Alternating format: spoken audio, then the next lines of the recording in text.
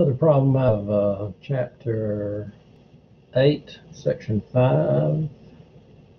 And uh, let's just see what we're going to do this. Okay, so they give us these conversion factors. They say that 5 milliliters is 1 teaspoon and 3 teaspoons is a tablespoon. And so then what they want me to do is they want me to, first of all, convert one one milliliter is how much of a teaspoon? Okay, so they want me to say one milliliter equals how much of a teaspoon? Okay.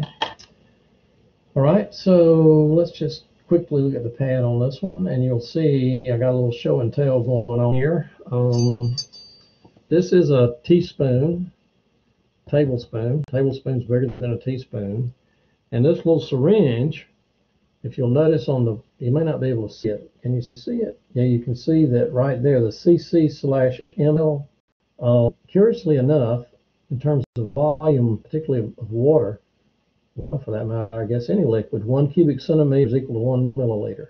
Now, if we had uh, a gram metric measurement for weight and it was water, then it would be also one gram.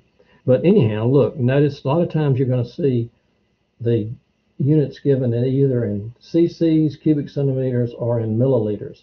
And a cubic centimeter is what would be a little block or a little box that's one centimeter.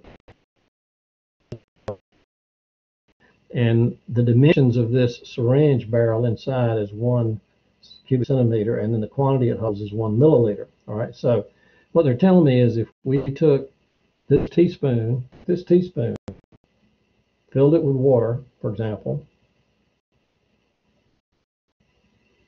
times could you fill it with water before we empty the teaspoon? Five times. So five of these would fill one of these. All right?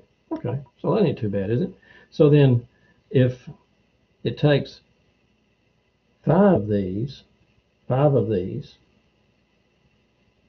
think about it now, it takes five of these, these being the syringes, or five milliliters, it takes five milliliters to make one teaspoon then one milliliter, one milliliter must be what?